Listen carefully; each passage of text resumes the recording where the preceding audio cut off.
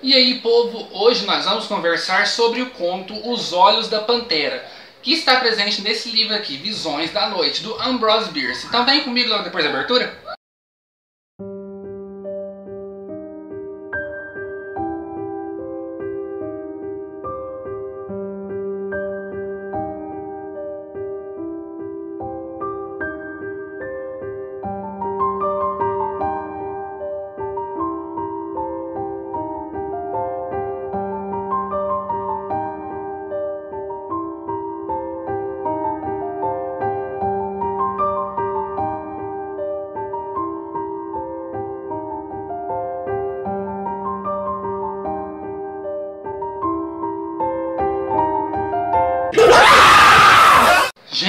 Hoje nós vamos conversar sobre essa história muito legal, muito interessante, que se chama Os Olhos da Pantera. Ela foi escrita pelo Ambrose Bierce e está presente nessa antologia aqui, que se chama Visões da Noite, Histórias de terror sarcástico. Essa antologia aqui, ela foi lançada então aqui no Brasil com organização e tradução da Heloísa Seixas e saiu pela editora Record. Ela é lá no finalzinho dos anos 90, começo dos anos 2000 e ela lançou esse e mais outros dois livros. Ela lançou depois Histórias de Horror e Terror, que eu falei ontem aqui no canal, e ela lançou um outro livro que se chama A Casa do Passado, do Algernon Blackwood, que a gente vai falar ainda esse mês do Halloween aqui no canal. E pessoal, deixa eu avisar aqui pra vocês, hoje a gente teve dois vídeos, a gente teve um vídeo mais cedo, que é onde eu mostro então cinco clássicos do terror que todo mundo deve ler. Vão lá e confiram o vídeo, eu vou deixar o vídeo aqui nos cards pra vocês conferirem. E hoje a gente vai ter esse vídeo aqui que vocês estão vendo agora. Então fica até o final. Mas hoje nós vamos falar sobre o conto Os Olhos da Pantera, do Ambrose Bierce. Para começar, quero mostrar para vocês então essa ilustração aqui que veio no livro, em referência a este conto, Os Olhos da Pantera. Eu não sei se vocês estão conseguindo ver aí, mas a ilustração ficou muito legal. Eu achei, nossa, ela ficou bem legal mesmo. Ela captura uma cena do conto, uma cena dessa história aqui e retrata muito bem. Eu não sei quem foi o ilustrador, porque pelo que eu olhei aqui no livro, não fala quem é o ilustrador. Eu não encontrei informação nenhuma das ilustrações, quem que fez, mas eu achei bem legal. O Ambrose Bierce é um autor americano, ele nasceu em 1842 e uma curiosidade sobre a vida dele é que ele era bastante cético, sabe? Ele não acreditava em nada, não tinha crenças nenhuma, não tinha nenhuma religião, não tinha nada disso e colecionava muitos inimigos, sabe? O pessoal detestava ele, porque ele era um escritor, um jornalista. Ele publicava matérias bastante ácidas no jornal onde ele escrevia, fazia críticas que o pessoal, sabe, torcia o nariz. Então ele colecionou muitos, muitos inimigos mesmo ao longo da vida dele. E o mais esquisito é que a morte dele foi estranha demais, é um mistério até hoje, assim como a do Edgar Allan Poe. A dele, então, ele entrou em uma floresta, encaminhou para essa floresta e ninguém nunca mais viu ele. Nunca mais viram falar dele, nunca mais sequer viram ele. E então a data que ele entrou para essa floresta e sumiu é considerada como a data de morte dele. Tem umas pessoas aí que consideram que a morte dele foi encomendada por um dos odiadores dele, que foram lá e mataram ele e tudo mais. Tem gente que é mais romântico e prefere falar que ele foi comido por canibais, por índios canibais. As especulações da morte dele vão de diversas maneiras diferentes.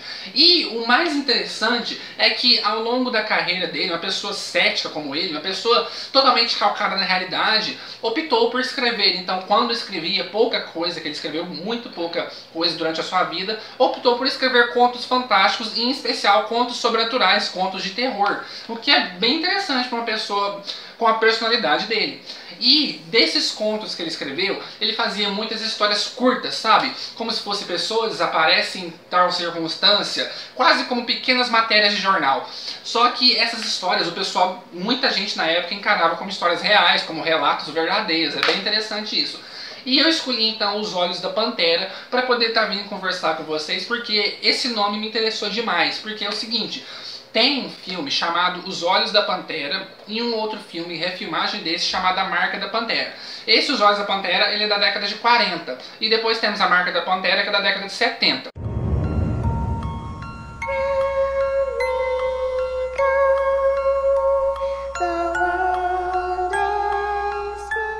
Mas eu creio que o conto em questão aqui foi o inspirador de fazerem esses filmes. Claro que os filmes são filmes, né, gente? Estica bem a história. Então eu acho que a inspiração inicial veio desse conto aqui. E a história é a seguinte. Nós temos a nossa protagonista, ela está no embate com o noivo dela. Ele chegou para ela e fala: Eu quero casar com você. E ela: Não, você não pode casar comigo. Eu te amo muito mais que tudo nessa vida, mas você não pode se casar comigo. Eu não quero me casar. E ele exige uma explicação: Mas por quê? A gente está noiva há tanto tempo. Por que, que você não quer casar comigo? E ela vai e fala: Porque eu tô achando que eu sou louca. E eu não quero trazer loucura para sua vida também. Aí ele fica encafifado com essa história. Mas como assim? Como assim você é louca? E ela resolve contar então a história da concepção dela, do nascimento dela. Ela conta que o pai dela, um velho bem, sabe, isolado para o canto dele, ele sempre foi um dos pioneiros lá nos Estados Unidos, na década de 1800 alguma coisa, que desbravaram o Velho Oeste, que desbravaram terras que ainda não eram ah, habitadas por civilização, esse tipo de coisa. E o pai dela, então, junto com a esposa, eles foram e construíram uma casa bem distante de tudo, desbravando tudo, indo mais distante possível que algum americano, que algum norte-americano já tinha ido, e construíram então uma casa bem longe, bem distante mesmo, no meio da floresta. Acontece que essa floresta ela era bem perigosa, porque além de ter ataque de índios, isso mesmo, na história que ele menciona ataque de índios, e a floresta também tem ataque de animais, tem ursos, tem diversos tipos de animais que podem entrar na casa. Então, é, todas as noites, o pai dela, que até o momento ela não era nascida ainda, o pai dela sai para poder caçar e trazer a janta da casa. E a mãe fica lá dentro da casa, temerosa, sempre temendo pela vida do marido. E na época, a mãe tinha um bebezinho pequenininho, que não era a nossa protagonista. Esse bebezinho tinha poucos meses, não sabia falar ainda e tudo mais. Essa mãe um dia vira pro marido e fala: Não vai pra caçada hoje não, porque eu tive um sonho muito estranho, um sonho muito ruim, um pressentimento ruim, e eu não queria que você fosse, não, não vai não. E ele, ah, mulher, para de bobeira, que isso não tem nada a ver não, isso é coisa da sua cabeça. Ele dá um beijinho em cada uma delas, na mulher na filhinha, e vai embora pra caçada. Então a mulher fica sozinha na casa, no meio do mato.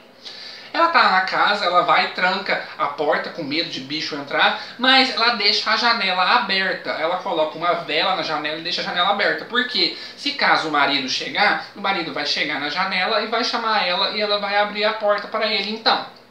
E também ela coloca uma vela lá para poder guiar ele, porque é uma floresta muito densa, uma floresta sem civilização nenhuma. Então não tem como a pessoa achar um lugar ali só se guiando pela luz da lua, que em questão naquela noite não tinha lua, era uma noite muito escura. E ela fica lá temendo, morrendo de medo de acontecer alguma coisa com o marido, com aquela lembrança na cabeça. E acontece então que ela levanta de noite. Ela tem mais uma vez aquele sonho ruim, aquela sensação ruim vindo do sonho. Ela se levanta, vai correndo ver a criança no berço. Quando ela olha para a janela, a luz, a vela que ela deixou, está apagada. E ela vê dois olhinhos brilhando no escuro e encarando ela. Ela fica assustada mais que tudo quando ela percebe é uma pantera, uma pantera gigantesca tá muito grande lá, encarando ela. Só que o mais esquisito é que essa pantera, ela não parece ser um bicho animalesco, porque embora ela seja um animal tudo mais, os olhos dela, de acordo com o que a mulher escreve, descreve aqui, os olhos dela são extremamente humanos e parece que são racionais. E essa pantera está encarando ela, encarando ela cada vez mais, e a pantera pula para dentro da casa. Aí a, a, mulher mais desesperada cata a criança e abraça a criança e fica quietinha com a criança, morrendo de medo da pantera vir comer o bebezinho dela. E ela fica abraçada, fica encolhida. E acontece que a pantera vai chegando cada vez mais perto, cada vez mais perto, cada vez mais perto. Aí então a narrativa corta para o marido chegando. O marido chega quase de manhãzinha, amanhecendo já, ele entra na casa e vê que a casa está toda devastada. Ele pula a janela, porque a, porta da casa está fechada. A casa está inteirinha devastada. Ele vai, chega e tem a mulher dele lá caída no canto. E ele vai e cutuca a mulher, e a mulher está viva. Ela vai, levanta e conta para ele que tinha uma pantera ali, que a pantera quase atacou eles.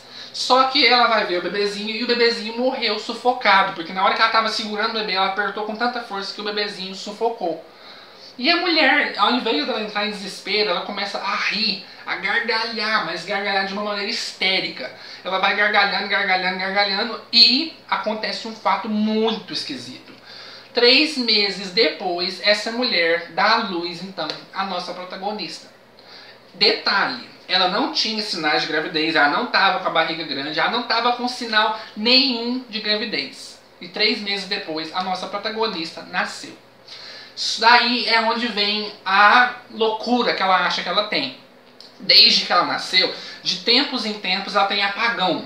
Ela vai deitar para dormir e tem um apagão. Tanto é que na vizinhança toda, todo mundo comenta que nunca se vê a nossa protagonista durante a noite. Ninguém nunca viu ela durante a noite. E ela vai e deita para dormir e geralmente quando ela acorda, ela não tá dormindo, ela não acorda na cama, ela acorda em outro lugar. E o mais esquisito ainda é que pela vizinhança ali, as pessoas têm relatado que viram uma pantera enorme, muito estranha e com olhos brilhantes andando pela cidade e atacando pessoas. Aí eu paro de contar a nossa história por aqui, porque a história é muito criativa.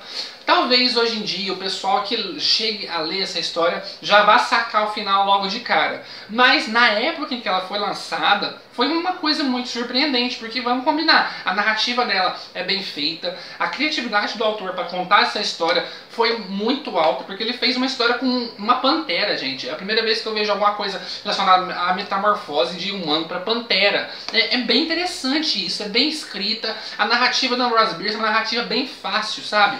Ela nem parece uma narrativa clássica, parece algo bem contemporâneo, porque a narrativa dele é simples, é concisa e é fácil de se ler. E como eu disse, a história é muito bem escrita e a criatividade dele, porque é muito criativo. Eu achei bastante criativo essa explorar esse lado diferente da, da, da transformação, da metamorfose. Porque geralmente a gente está acostumado a ver metamorfose de pessoa em lobo, né, que é o chamado lobisomem, mas numa pantera, bem legal. Eu gostei do conto, achei bem interessante. Não é um dos meus favoritos do que eu li até agora no nosso mês do Halloween, não é um dos meus favoritos, mas ainda assim é um conto bem proveitoso, é um conto bem divertido e é um conto que dá um arrepiozinho aqui, principalmente na hora que a, a mulher vai lá e tem aquela pantera encarando ela na janela com o olho brilhante. É bem macabro isso. Então, gente, amanhã nós vamos conversar sobre um conto que eu escolhi desse livro aqui. O livro em questão é este daqui, então, A Casa do Passado, do Algernon Blackwood. Esse aqui também faz parte daquela coleçãozinha aqui que eu mostrei pra vocês, que tem o Depois, Sete Histórias de Horror e Terror, que tem esse daqui, né, Visões da Noite, e esse aqui é o terceiro e último volume dela, que é A Casa do Passado. Ela foi organizada pela Heloísa Seixas, traduzida também, e lançada pela Record. É uma coleção muito legal, é uma pena que tá muito... tá sabe, tá raro, é bem difícil de encontrar esses três livros, em especial esse aqui, esse aqui é raríssimo. E é a maior pena ainda é que o Ambrose Bierce é um autor que nunca teve nada dele publicado aqui no Brasil. Você conseguia encontrar contos dele assim em coletâneas. Você tinha um conto em uma coletânea, um conto em outra coletânea e tudo mais. Mas um livro dele, só dele mesmo, só teve esse daqui, o que é uma pena. E o conto que eu escolhi então para poder conversar com vocês sobre esse livro aqui é, eu acho que o maior clássico do Algernon Blackwood, que é Os Salgueiros.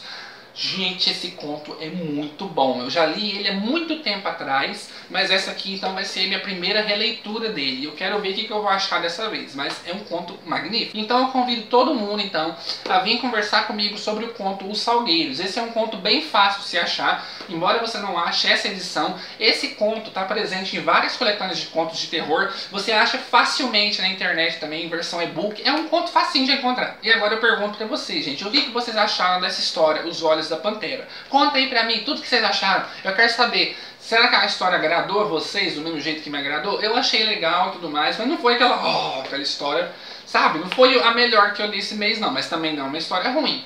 É uma história do mediano pro bom, sabe? Tá, tá, tá nos trinks, tá bom. Mas é uma história que, sabe, poderia rendido mais. Mas é como eu disse, é uma história que no seu tempo com certeza foi grandiosa pela forma como trabalhou tudo aqui, o mistério, o suspense ao redor da loucura da nossa protagonista. Eu achei que ela deve ter rendido mais na época em que ela foi lançada. Mas eu indico sim, é bem legal. Então, gente, espero que vocês tenham gostado do vídeo de hoje. Amanhã a gente vai conversar sobre o conto Os Salgueiros, do Algernon Blackwood. E eu espero vocês aqui amanhã. Deixa o dedão pra cima e tchau, tchau!